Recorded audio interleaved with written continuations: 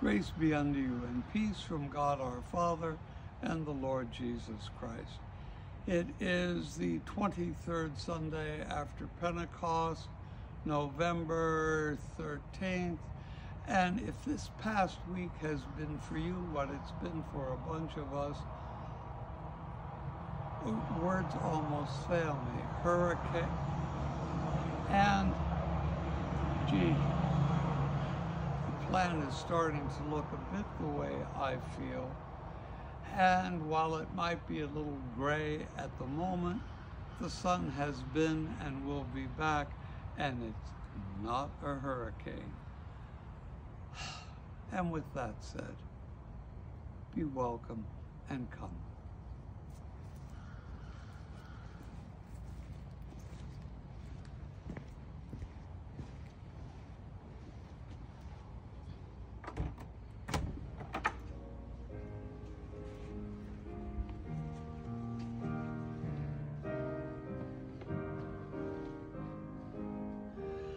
And yesterday we did the Requiem for Beth, one of the fine ladies who left a handprint on my heart and many others.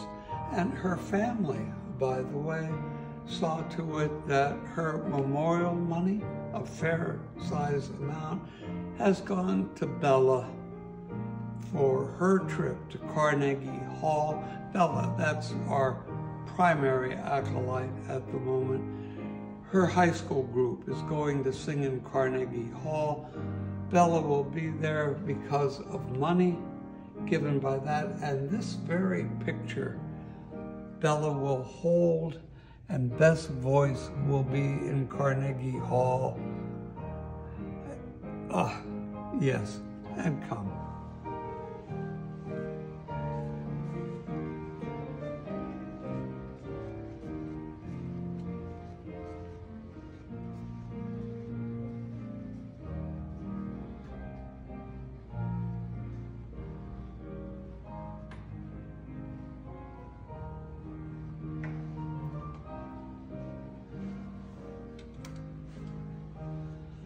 And if there's ever been a week where I and perhaps you need a candle lit, this is one of them.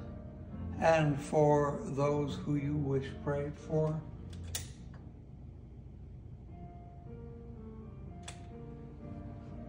oh, and yet another.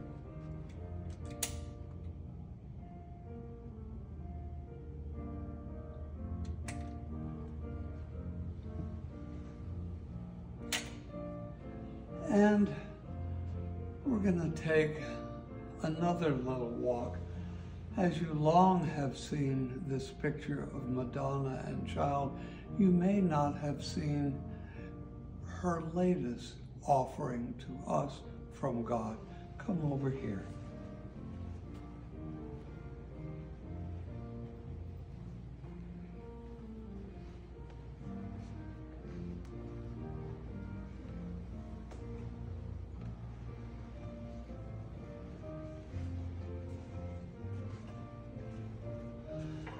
And it's at St. Francis.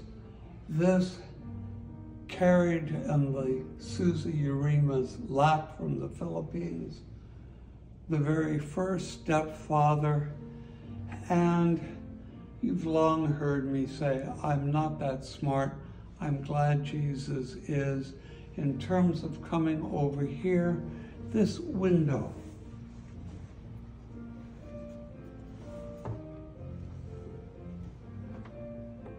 renovated in 2017 in loving memory of Earl Sutton by Beth Sutton and family.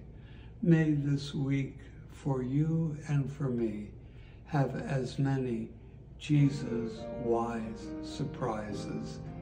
Amen.